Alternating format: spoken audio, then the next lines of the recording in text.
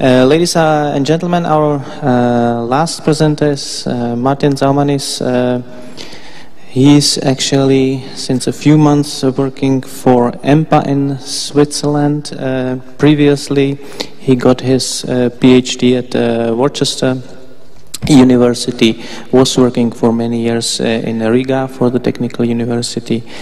And I know Martin for a few years, and I know that he's dealing with uh, questions related to 100% reuse of uh, asphalt in in our pavement. So uh, that's exactly what he's presenting to us uh, today. So Martin, please. Thank you, Jan. Um, so yeah, this uh, is going to be the summary of my doctoral thesis that I did in the Worcester Polytechnic Institute, and my advisors were Rajib Mallick, and also I got a lot of help from Robert Frank. Uh, 50 million tons of recycled, uh, of reclaimed asphalt are available in Europe, according to EAPA Asphalt in figures. But I come from a small country, so I have uh, a little bit of trouble of uh, grasping these uh, large numbers. So I thought I would express them uh, in the units of Great Pyramids of Giza. And it turns out that the volume corresponds to about eight Great Pyramids of Giza. from that, 91% is recycled, which is around uh, seven uh, and a little bit uh, Great Pyramids of Giza. And this is a very good number. Actually, uh, we can be proud that our material is one of the most recycled in the world. But only 52% are actually reused into asphalt applications. So clearly, there's a room for improvement there. And uh, I kind of summarized the reasons why we have such a relatively lower reuse rate in, uh, in four main aspects. Uh, so first off, we need to make sure that the materials that we are using, uh, they can be traced, they can be, uh, they have been tested for their properties. They have to be homogeneous so that we would be able to uh, do a proper mix design.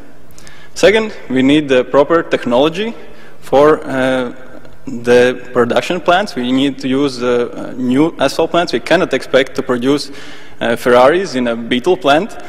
Uh, next, we need a mix design method for high RAP mixes and, of course, including 100% recycled mixes. And I'll talk about that a little bit later. And uh, finally, we need uh, to change the mindset of the people involved. And our keynote speech already um, uh, summarized a lot, lot, of these aspects. And, and like probably some of you are thinking now, uh, why is this guy talking about 100% recycling if we have not yet uh, figured out 30%? You know, outside of this uh, auditorium, there are many people, especially in the, uh, in, in, the road authorities, that are thinking the same thing about 30% recycling. They want to keep it safe. But okay, that's more about politics. I will focus on the technology and the mix design part uh, for high RAP recycling. And just to show that I'm not the only one thinking about 100% recycling, um, there are many producers who have uh, tried to design asphalt plants that are uh, um, that can produce 100% recycled mixture. And uh, we also got a very nice presentation on that yesterday. I was actually involved in one such uh, project in New York City where we uh, designed and, and, tested mixtures that were later uh, applied in New York City streets. And here you see a 100% recycled asphalt mixture uh, applied, uh, put down in, the, in a parking lot.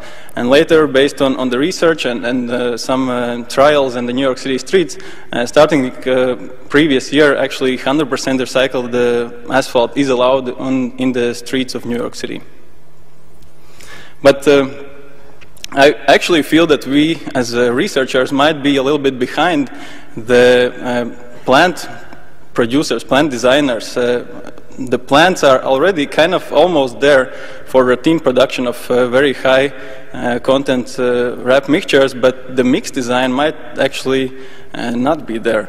Um, so even by default, there are some differences between, uh, between uh, the conventional mix design and the high RAP design.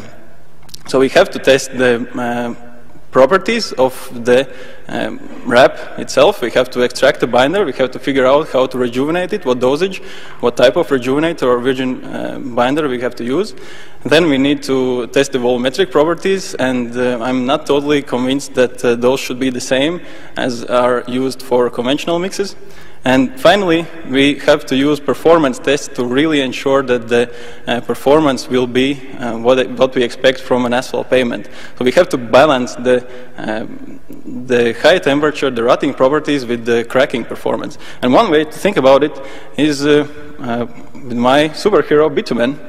So uh, he has to follow a very strict diet. He has to have his optimum performance. Otherwise, he will crack in winter. And uh, if we overdose with the rejuvenator or we have a, a, a fat mixture, he will uh, start to melt in summer. So bitumen's diet has to be optimized. And uh, I, here's just an example of how we did it uh, in uh, my uh, research. Uh, so we had the RAP that we extracted the binder. It had a penetration of about uh, 20. And we added six different rejuvenators. I'll not go into details with that. But uh, each of them we applied in two different dosages. And uh, there was clearly an exponential relationship, so we could potentially easily calculate the optimum dosage. Uh, as an example here, uh, we had uh, um, a virgin binder of penetration 78, so we easily can calculate what's the optimum dosage for reaching that for, for a particular rejuvenator. Another way to do it would be according to performance grade specification. And, uh, and if you're not familiar with that, uh, the performance grade um, sets a certain um, parameter requirement, and then you measure the temperature at which you can reach, uh, reach this parameter. And each area has a, a, set temperature that you have to uh, fulfill. So uh, we calculated for each of the um, different rejuvenators the dosage that is required to reach the uh, high PG, uh, high performance grade temperature, and anything, any dosage that's below that will ensure that our um, binder is rut resistant. And on the opposite side, we have the minimum uh, required dosage that will ensure that it is uh, crack resistant at low temperatures. And there's also an intermediate uh, kind of fatigue param parameter, and in some cases, this was the main uh, constraint. So what's interesting is that the penetration that I showed you earlier, in all the cases was the optimum dosage, uh, according to penetration, was always somewhere in between this maximum and minimum dosage. So we can say that if we would optimize the mix according to penetration, we would also uh, ensure the um, performance grade uh, specification uh, requirements. The problem is that all of this only talks about the binder. It artificially assumes that there is 100% blending of uh, binder in the mixture. And we know uh, by fact that that is uh, not true. There is some black rock situation, there is some layered system around the RAP stones. So we should test the performance properties, like I said earlier, and that's what we did in my research as well. Uh, we had a, a 9.5 millimeter Superpave mix, and I'll not go into details. Uh, the main thing is that we had 12% uh, of rejuvenator of each of these six rejuvenators, and we tried to keep all the uh, volumetric uh, parameters constant. So first we tested the rutting performance. You can see the RAP mix. Uh, that's uh, according to wheel tracking test device. The RAP mix uh, has a very high rut resistance, as we would expect from a stiff mixture. The virgin mix is uh, um, uh, doesn't perform as well. Actually, it fails the minimum rutting requirement. And our rejuvenated mixes were somewhere in between.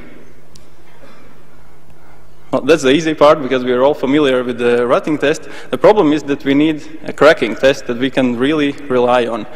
And I'm not just saying that this is the cracking test to use, but this, is the, this was the approach that we tried out. Uh, basically, we tested the creep compliance at three different low temperatures and came up with this stress uh, temperature curve.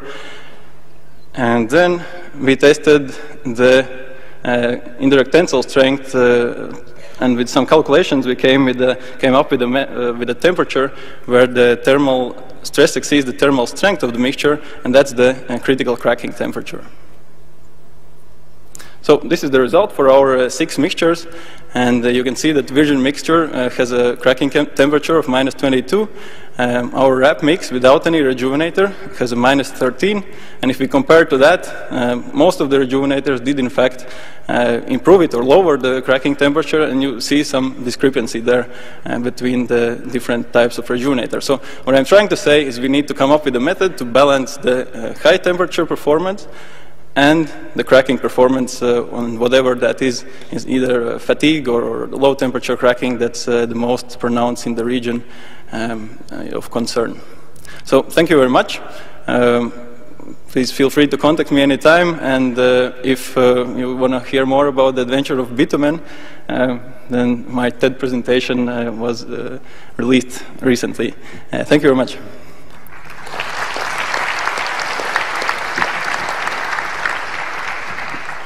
So, Martin, thank you very much.